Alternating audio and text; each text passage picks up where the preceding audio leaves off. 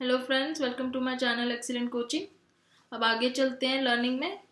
Stimulus generalisation and discrimination so stimulus generalisation का मतलब ये होता है कि जब हम कोई स्टिमुलस से मिलती जुलती चीज़ को भी स्टिमुलस मान के रिएक्ट कर देते हैं, जबकि वो एक्चुअल में वो स्टिमुलस नहीं होता जिससे हमें रिएक्ट करना है।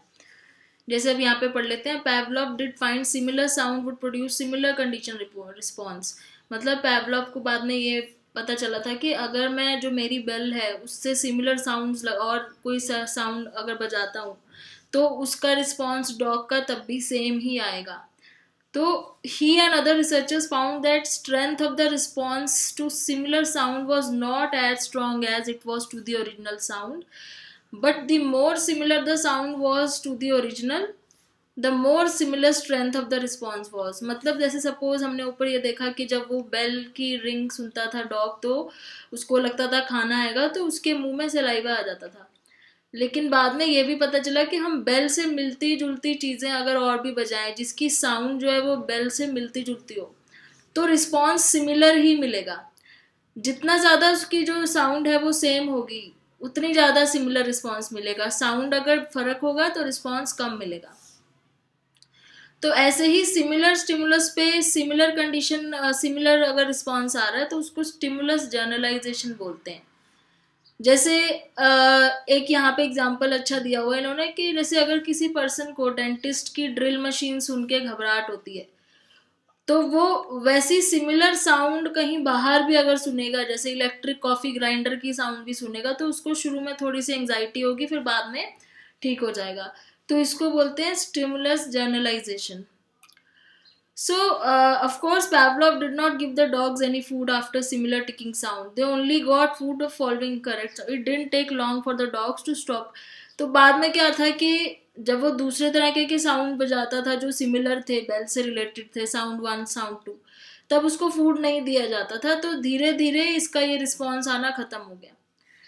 पहले बेल जब बजाता था मीट्रोनॉम वाली बेल की जो रिंग थी, वो उसको उसको फॉलो करके फ़ूड आता था, तब तो सलाइवा ठीक था। फिर जब सिमिलर साउंड्स के बाद भी उसके मुँह में सलाइवा आता था डॉग के तो उसके बाद लेकिन फ़ूड देन फ़ूड नहीं मिलता था। तो धीरे धीरे डॉग को ये समझ आ गया कि ये जो दूसरी साउंड्स मुझे सुनाई दे रही है, इसके बाद मुझे खाना नहीं मिलेगा। तो ये वाली साउंड को जो है ना, वो इसके आगे रिस्पॉन्स करना उसने बंद कर दिया। फिर वो सिर्फ़ ओरिजिनल बेल की आवाज़ के आगे ही रिस्पॉन्ड करता था। सो so, uh, इसमें यह लिखा है कि जब उसके बाद उसको खाना नहीं मिलता था दूसरी साउंड के बाद तो उसने उस पर रिस्पॉन्ड करना बंद कर दिया। और उसको ये पता चल गया कि ये वाली साउंड जो है ये वो साउंड नहीं है जिसके बाद मुझे फ़ूड मिलेगा। So because only the real condition stimulus was followed with food real condition stimulus कौन सा था जो ओरिजिनल बेल थी metronome they learn to tell the difference और to discriminate between the fake ticking and the C S ticking तो धीरे धीरे उन डॉग्स को डिस्क्रिमिनेट करना आ गया। फ़र्क पहचानना आ गया कि रियल स्टिमुलस की आवाज़ कौन सी है और फेक टिकिंग कौन सी है। तो इस प्रोसेस को बोलते हैं discrimination so stimulus discrimination occurs when an organism learns to respond to different stimuli in different ways For example, although the sound of the coffee grinder might produce a little anxiety in the dental drill hitting person, after few uses that sound will no longer produce anxiety. तो ऊपर वाले example को ही ले लेते हैं कि कैसे discrimination होती है जैसे स्टार्टिंग में उसको ड्रिलिंग मशीन की आवाज़ सुन के एंग्जाइटी होती थी और बाहर कहीं वो और कहीं ऐसी आवाज़ सुने तो भी घबरा जाता था बट धीरे धीरे उसको समझ में आ गया कि जो दूसरी साउंड्स हैं, वो वो वाली साउंड नहीं है, जो एक्चुअली में जो डेंटिस्ट वाली होती है तो वो फिर बाद में दूसरी साउंड सुन के उसकी एंग्जाइटी नहीं होती थी तो वो डिस्क्रिमिनेट करना सीख गया कि ओरिजिनल जो है, वो स्टिमुलस कौन सा है और बाकी जो स्टिमुलस है, वो फेक हैं। तो ये तो था जर्नलाइजेशन और डिस्क्रिमिनेशन उसके बाद है extinction extinction and spontaneous recovery क्या होता है? एक्सटेंशन का मतलब होता है ना कोई चीज़ ख़त्म हो जाना और स्पॉन्टेनियस रिकवरी फिर एकदम से वापस आ जाना। सो so, इसमें क्या था? What would have had stop giving dog food अगर उसने फ़ूड देना बंद कर दिया था डॉग को बेल बजाने के बाद ओरिजिनल वाला जो स्टिमुलस था ओरिजिनल बेल मीट्रोनॉम बजाने के बाद उसको फ़ूड देना अगर बंद कर दिया तो क्या होगा फिर आगे? So dogs gradually stop salivating to the sound of ticking फिर धीरे धीरे क्या हुआ? डॉग्स की जो सलाइवा था, वो टिकिंग साउंड होने के बाद भी नहीं आता था, वो धीरे धीरे वो बंद हो गया। जो उनको शुरू में लर्न कराया था कि जब भी बैल बजेगी, खाना आएगा तो डॉग सेलिब्रेट करते थे। लेकिन धीरे धीरे बाद में उसको जब हमने बंद कर दिया खाना देना तो वो डॉग भी है, वो भी समझ गए कि अब जो बेल बज रही है, उसके बाद खाना नहीं मिलेगा। और ये काफ़ी सारे ट्रायल्स की वजह से धीरे धीरे करने के बाद लर्न कराया था, वैसे ही अनलर्न भी कराया। So was repeatedly presented in the absence of unconditioned stimulus और food the salivation died out in the process called extension तो उनका रिस्पॉन्स एक्सटिंक्ट हो गया। जैसे बेल पहले बजती थी, उसके बाद उनको पता था बेल बजी है तो फ़ूड आएगा। तो इसलिए उनका रिस्पॉन्स क्या होता था? उनके मुँह में सलाइवा आ जाता था। ठीक है? ये धीरे धीरे लर्न कराया उनको।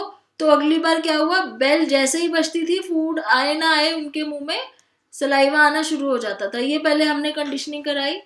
एक्सटेंशन में हमने क्या किया? फिर धीरे धीरे बेल बजने के बाद बेल बजाई और फ़ूड देना बंद कर दिया धीरे धीरे जब हमने बहुत बार ऐसा किया, बेल बजी लेकिन फ़ूड नहीं आया तो उनका ये वाला रिस्पॉन्स भी खत्म हो गया एक्सटिंक्ट हो गया। फिर उनके मुँह में सिलाइवा नहीं आता था बेल को लेके।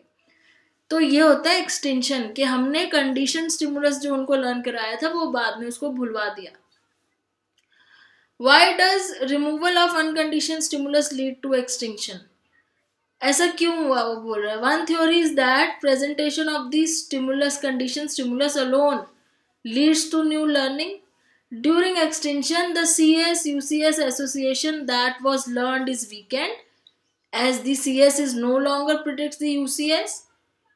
In the case Pavlov's dog through extension they learn not to salivate to the metronome sticking as it तो वही बात कह रहे हैं जो मैं बोल रही हूँ कि पहले उनको ये याद कराया कि जो कंडीशन स्टिमुलस है जो सी एस है बेल है उसके साथ यू सी एस आएगा खाना आएगा इसलिए उन्होंने रिस्पॉन्स उस तरह का देना शुरू किया बाद में धीरे धीरे हमको ये याद दिलाया कि सीएस के बाद यूसीएस नहीं आएगा तो उन्होंने धीरे धीरे रिस्पॉन्स देना बंद कर दिया तो यही पैराग्राफ में ये बोल रहे हैं So one conditioning is acquired, the condition stimulus and condition response will also will always come before the original unconditioned stimulus. The UCS which comes after CS and CR now serves as a strengthener or reinforcer of the CSCR association. Remove the reinforcer and CR it strengthens will weaken and disappear at least for a while.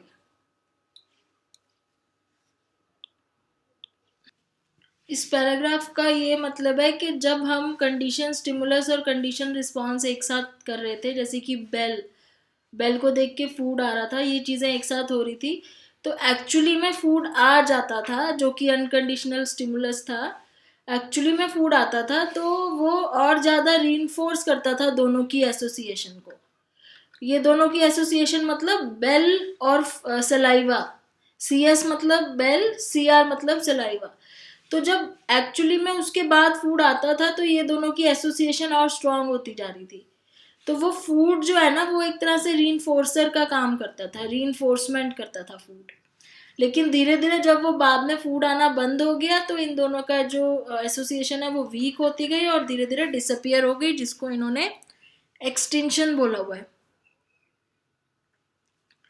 और यहाँ पे आगे अभी एक चीज़ और ये discuss करेंगे spontaneous recovery कि ये चीज़ बाद में फिर से रिकवर भी हुई थी. अब जैसे लर्निंग एक्सटेंशन भी क्या है एक तरीके की लर्निंग है ना तो ये परमानेंटली एक्सटिंग का मतलब कोई चीज़ परमानेंटली चले जाए वो कभी वापस नहीं आएगी क्योंकि लर्निंग का क्या मतलब है कि रिलेटिवली परमानेंट चेंज है तो थोड़ा सा उसको वापस से वो करना अनलर्न करना मुश्किल हो जाता है। सो so, अब यहाँ पे क्या था after extinguishing the conditioned salivation response in his dog Pavlov waited a few weeks putting the conditioned stimulus away फिर उसने क्या किया? वो मीट्रोनॉम बेल हटा दी। वो बेल बहुत दिनों तक यूज़ ही नहीं करी। उसका रोल ख़त्म कर दिया बेल का। फिर सिर्फ़ क्या था? फ़ूड। फ़ूड को देखते थे वो और फ़ूड देख के उनके मुँह में सलाइवा आता था। तो वो बेल थोड़े दिनों के लिए गायब कर दी। तो बेल के बारे में वो भूल गए, क्योंकि कोई टिकिंग नहीं, कुछ नहीं। तो ये इस तरीके से काफ़ी दिन तक उसको यूज़ नहीं किया। There were no more training session कोई ट्रेनिंग सेशन नहीं हो रहा था। डॉग्स को मिट्रोनॉम टिकिंग के एक्सपोज नहीं किया। फिर अचानक कुछ दिन बाद पैवलॉफ टुक दी मीट्रोनॉम बैक कुछ दिन बाद वो उसको वापस ले आया और उसने फिर से उसको टिकिंग करा। मतलब बेल बजाई। तो सडनली क्या हुआ? डॉग्स उसकी आवाज़ सुन के एकदम से सेलिब्रेट करने लगे। लेकिन वो ज़्यादा देर तक नहीं था, बहुत छोटा सा रिस्पॉन्स था। फिर मतलब जैसे होता है ना कि वो काफ़ी टाइम तक बेल का यूज़ नहीं किया तो उनके दिमाग से निकल गई वो बात। लेकिन अचानक कुछ हफ्तों बाद एकदम से जब उसने बेल बजाई तो फिर से डॉग्स के मुँह में सलाइवा आ गया, लेकिन थोड़ी देर के लिए आया था, बहुत छोटे टाइम का रिस्पॉन्स था, क्योंकि एकदम से उनको समझ में आ गया कि वो गलत चीज़ पर रिस्पॉन्स दे रहे हैं। तो वो जो एकदम से सडनली उनको जो रिस्पॉन्स आया ना उनके मुँह में, उसको बोलते हैं spontaneous recovery this brief recovery brief recovery थी of the conditioned response prove that C R is still in there somewhere मतलब इसे ये पता चला कि जो स्टार्टिंग में उनको लर्निंग हमने कराई थी, कि बेल को देख के मुँह में से लाइवा आ रहा है, वो कहीं ना कहीं अभी भी उनके माइंड में था। वो अभी पूरी तरीके से वो चीज़ गई नहीं थी। वो सप्रेस हो गया था इनिबिट हो गया था, क्योंकि बीच में बेल का यूज़ होना बंद हो गया था। लेकिन जैसे ही वो बेल वापस से बजनी शुरू हुई, कुछ टाइम बाद उनके, उनका स्पॉन्टेनियसली उनका एक रिएक्शन दिखा, जिसको इन्होंने नाम दिया है स्पॉन्टेनियस रिकवरी, लेकिन ये बहुत ही ब्रीफली आया था। थोड़ी देर के लिए एकदम से आया, लेकिन उनको फिर ध्यान आ गया कि वो गलत रिस्पॉन्ड कर रहे हैं। तो ये होता है स्पॉन्टेनियस रिकवरी। तो ये यहाँ पे ग्राफ दिखाया हुआ है इन्होंने कि कैसे उनको पहले लर्निंग कराई, फिर धीरे धीरे वो बेल हटा दी तो वो लर्निंग अनलर्न हो गया। फिर सडनली जब एक दिन बेल की आवाज़ आई तो एकदम से उन्होंने रिस्पॉन्स किया, लेकिन फिर वो रुक गए। क्योंकि उनको एकदम से यहाँ ध्यान आ गया कि वो गलत चीज़ पे रिस्पॉन्स कर रहे हैं। तो ये एक्सटेंशन दिखाया हुआ है यहाँ पे। यहाँ पे एक्विजिशन मतलब लर्निंग दिखाई है दोनों की। लर्निंग uh, मतलब जब बेल बजती है तो उसे लाइव आता है इन दोनों की एसोसिएशन दिखाई है। फिर जब बेल के साथ फ़ूड आना बंद हो गया तो फिर एक्सटेंशन हो गया रिस्पॉन्स का। और उसके बाद सडनली जब कुछ टाइम बाद बेल यूज़ ना करके सडनली यूज़ करी कुछ टाइम बाद तो ये रिस्पॉन्स एकदम से दिखा। उसके बाद एक चीज़ और है, इसमें higher order conditioning higher order conditioning में क्या होता है कि जैसे सपोज़ आप उस एक्सपेरिमेंट में क्या था कि पहले बेल बज रही थी, फिर फ़ूड आ रहा था तो उनको ये चीज़ याद हो गई कि बेल बजते ही फ़ूड आएगा तो वो उनके मुँह में सलाइवा आ रहा था डॉग्स के मुँह में। फिर इन्होंने एक चीज़ और की। पहले अपनी फिंगर स्नैप की, जैसे चुटकी बजाते हैं फिंगर स्नैप की फिंगर स्नैप करने के बाद बेल बजाई, उसके बाद खाना आया तो डॉग्स को ये ये मैंने काफ़ी टाइम तक ऐसा किया कि पहले फिंगर स्नैप की, फिर बेल बजाई, फिर खाना आया।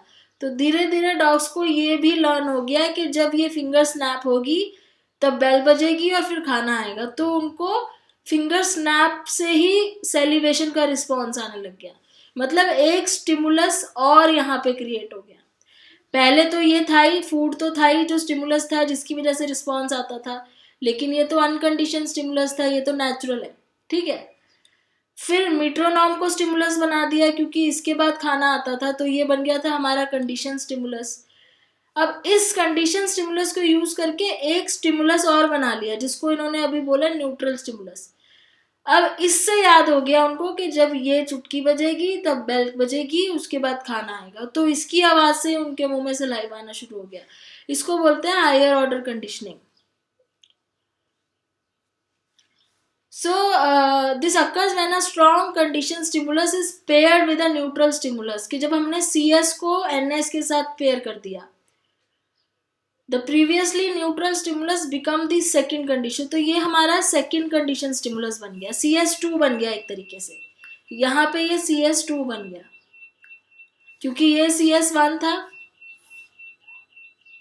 ये वाला सी एस वन बन गया था और धीरे धीरे जब सी एस वन के साथ एन एस को पेयर करना शुरू कर दिया तो ये सी एस टू बन गया। तो ये होती है हायर ऑर्डर कंडीशनिंग तो इसकी सीक्वेंस ऐसे थी कि पहले स्नैप करा, फिर मीट्रोनॉम की टिकिंग हुई, फिर से लाइव आया। बेशक फ़ूड आया हो चाहे ना आया हो, उसके बाद डॉग्स के मुँह में सलाइवा आना शुरू हो गया। लेकिन एक चीज़ अगेन इसमें ये भी है कि इसके बाद फिर फ़ूड आना ज़रूरी है इस रिस्पॉन्स को री करने के लिए। अगर फ़ूड नहीं आएगा तो ये रिस्पॉन्स भी एक्सटिंक्ट हो जाएगा। तो यहाँ पे ये क्लासिकल कंडीशनिंग खत्म हो गई, ये इसकी समरी है। लर्निंग क्या होती है? यानी रिलेटिवली परमानेंट चेंज होता है बिहेवियर में, जो एक्सपीरियंस या प्रैक्टिस से होता है। ब्रेन के अंदर कुछ फ़िज़िकल चेंजेस होते हैं और द फ़िज़िकल चेंजेस में be present we may not always be able to get to the information किसने डिस्कवर किया था classical conditioning and Ivan Pavlov ने। और इन्होंने काफ़ी सारे एलिमेंट्स इसमें पढ़े थे कि अनकंडीशन स्टिमुलस होता है कुछ, और फिर उसके उसको देख के अनकंडीशन रिस्पॉन्स होता है। लेकिन हम कंडीशन स्टिमुलस के बेस पे कंडीशन रिस्पॉन्स भी ले सकते हैं। क्लासिकल कंडीशनिंग में उन्होंने इन चीज़ों का ध्यान रखा था कि कंडीशन स्टिमुलस जो है अनकंडीशन स्टिमुलस से पहले आना चाहिए मतलब वेल फ़ूड से पहले। और सी एस और यू सी एस जो है, वो दोनों एक साथ होने चाहिए, पाँच सेकंड से कम का टाइम होना चाहिए। C S must be paired और बहुत बारी मैनी टाइम्स करना पड़ेगा ये चीज़, तब लर्न होगी। और सी एस को थोड़ा सा डिस्टिंग रखना है, जो बेल की आवाज़ है, वो थोड़ी सी अलग होनी चाहिए नॉर्मल आवाज़ों से। और तीन चार चीज़ें जो उसमें थी वो ये था कि स्टिमुलस जर्नलाइजेशन हो जाता है कि हमें सेम तरीके की आवाज़ सुन के लगता है, हमारा रिस्पॉन्स सेम आता है, क्योंकि हमें कई बार लगता है कि ये वही चीज़ की आवाज़ है, लेकिन बाद में धीरे धीरे डिस्क्रिमिनेशन हो जाता है, जब समझ में आ जाता है कि ये आवाज़ अलग है और दूसरी अलग है। एक्सटेंशन का मतलब कोई रिस्पॉन्स अगर गायब हो जाए, अगर उसके पीछे री ना आए तो। स्पॉन्टेनियस रिकवरी जब कोई रिस्पॉन्स एक्सटिंक्ट होने के बाद सडनली आ जाता है। हायर ऑर्डर कंडीशनिंग में ये था कि हम एक कंडीशन स्टिमुलस के साथ अगर दूसरा स्टिमुलस पेयर कर दें तो एक और कंडीशन स्टिमुलस बन सकता है। अब इसके क्विज है question answers which of the following statements about learning is not true तो कौन सी इसमें सेंटेंस ट्रू नहीं है? Information is another for maturation मुझे तो यही रॉन्ग लग रहा है क्योंकि मैचुरेशन हमने पढ़ा था, अलग चीज़ होती है। जब हम ग्रो करते हैं बायोलॉजिकल होता है। बाकी सारे ट्रू होंगे। learning is relatively permanent true है involve change in behaviour true है इन्वॉल्व एक्सपीरियंस ट्रू है and notice that whatever he use he used his electric can whenever he used electric can opener his cat would come into the kitchen and act hungry